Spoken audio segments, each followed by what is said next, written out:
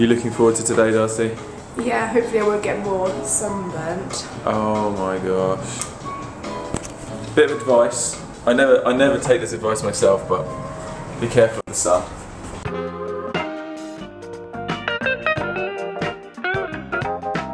We are going to the Pharaonic village. Um, I've been there before when I came here uh, a few years ago.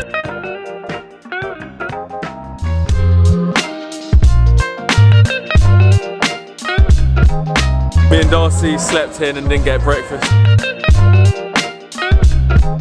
I think we just paid 10p for four bits of bread. That's amazing.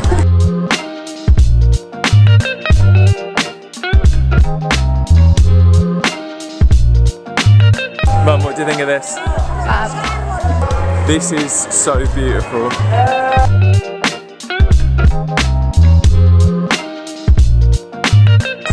Hello, mate. That horse actually looked a bit healthier than the horses we were riding the other night. These donkeys having a good old snack on the uh, in the rubbish bin there. this little stroll into these streets was a complete accident, but it's been a highlight for me already.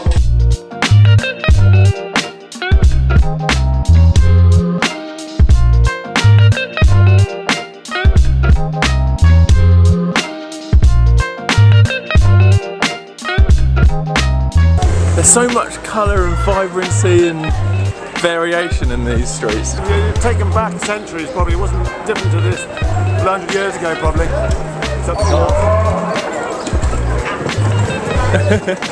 Look at this, there are bullet holes in the front of this car. We are now here at the Pharaonic Village. Looking forward to this. Good suggestion, Darcy.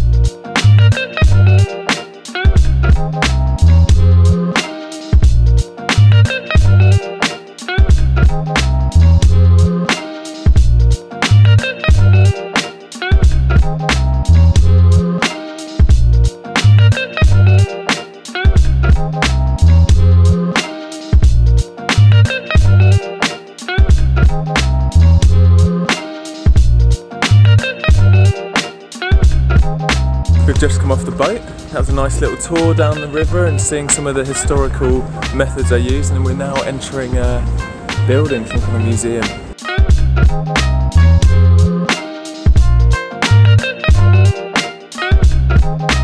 We're going to dress up for a photo as pharaohs and or something.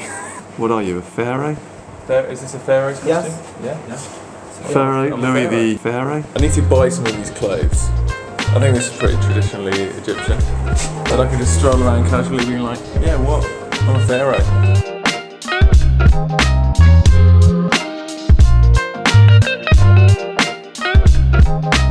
Darcy's doing some photography. Go and snap some pictures and then I can put them in the video after this.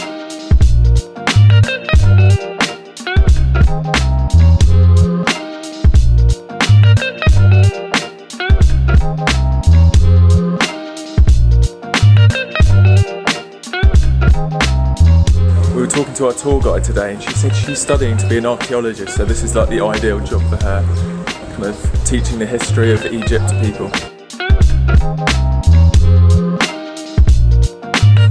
Fascinating watching this guy blowing glass and creating these amazing little perfume bottles. This guy is just getting my friend Misna's name written on this glass perfume bottle.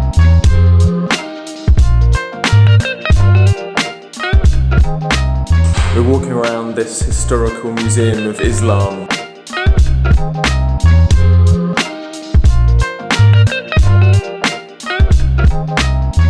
We're boarding a boat that's going to do a little tour on the Nile, which is cool. Good shout on the Pharaonic village, Darcy.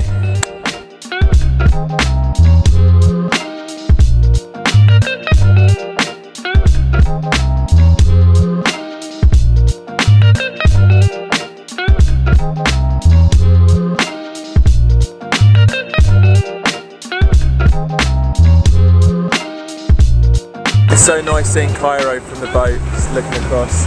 Such a good view.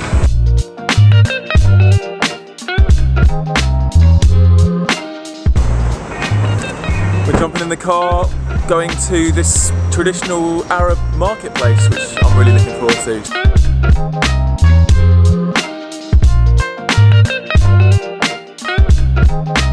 So I've just pulled up in the crazy market area and we're going to uh, gonna have a little wander around and maybe get some food. We're really hungry.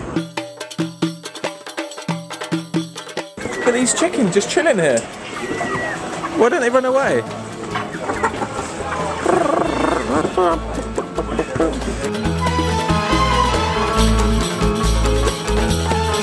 Oh, there's so many cute animals around. We're probably going to eat one of them. Egyptian street pigeon here. I just ordered the pigeon. I think they may be going out and just catching one off the street maybe and grilling that up. So hopefully um, it will be tasty and disease free. A grilled pigeon. Okay, the, the waiter's just told me I have to eat this with my hands and I have to eat the bones. to eat the bone? I have to eat the bones. Chew, Chew, crunch them up. crunch the bones. Okay, I'm gonna crunch the bones up and eat it. Let's just do this. Trust me, I swear, my friend. I'm just eating and there's just a cat just down here. Hey mate, look at this little kid. Hello. I've got pigeon bones stuck in my teeth.